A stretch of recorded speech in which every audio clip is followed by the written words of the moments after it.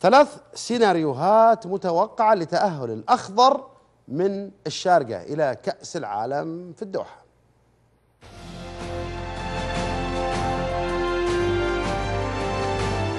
أصبح المنتخب السعودي على بعد خطوة واحدة من بلوغ نهائيات كأس العالم 2022 عن قارة آسيا. بعدما تصدر المجموعة الثانية بتصفيات القارة الصفراء سيخوض الفريق الوطني السعودي الجولة التاسعة وهو يمتلك عدة سيناريوهات ستمنح إحدى بطاقتي التأهل قبل جولة من ختام التصفيات النهائية.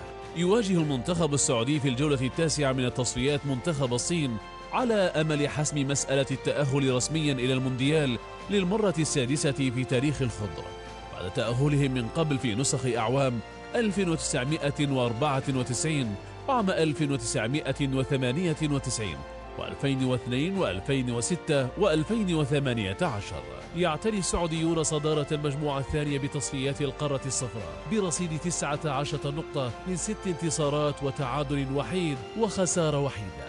السيناريو الأول والأسهل للمنتخب السعودي هو تحقيق الفوز على المنتخب الصيني وحسم التأهل رسميا إلى نهائيات كأس العالم.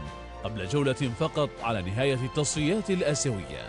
الاحتمال الثاني يتمثل في تعادل السعودية أمام الصين وهنا سيكون الأخضر بحاجة لتعادل أو فوز اليابان على أستراليا في المواجهة التي ستقام في ذات اليوم. وإذا تحقق ذلك فسيضمن الأخضر تأهله رسميا. أما السيناريو الثالث وهو الأسوأ في حال خسارة الأخضر مواجهة الصين في هذه الحالة سيكون تأهل الأخضر مرهونا بخسارة أستراليا أمام اليابان. وفي حال خسارة المنتخب السعودي أمام الصين سيدخل الأخضر في دوامة الحسابات المعقدة في حال عدم خسارة أستراليا في الجولة القادمة. ولكنها ستبقى بيد السعوديين في حال التعادل مع أستراليا في الجولة الختامية على أقصى تقدير من أجل التأهل للمرة السادسة إلى المونديال.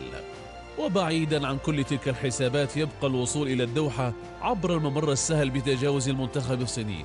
بانتصار يرفع رصيد الأخضر إلى 22 نقطة. إمكانيات فنية عالية يمتلكها المنتخب السعودي بقيادة المدرب الفرنسي هيفي رينارد. ستمكنه من الفوز على الصين الخميس القادم وإعلان الوصول لنهائيات كأس العالم 2022